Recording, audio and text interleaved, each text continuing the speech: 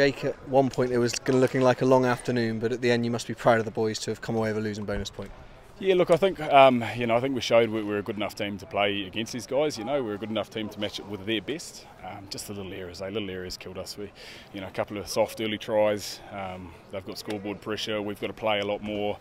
Uh, you know, us not executing on the other end with the ball, and, and we cough up a couple of tries. Um, you know, it's just the difference in that. So I, I don't think the difference is you know, maybe not quite as big as the scoreboard reflected, but yeah, that just shows the little areas we need to get right.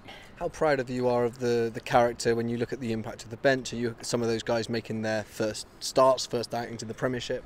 Well, that's mate. That's the great thing is you know we, we talked before we went out in the changing room, and, and, you know we don't need to mention effort, we don't need to mention physicality, we don't need to mention boys giving it their all because because we get that week in week out, we get that on a Monday through Friday, and then we get that on the weekend. You know, so so it's great that boys slot in and and and you know and really put it uh, put it on the line for the boys.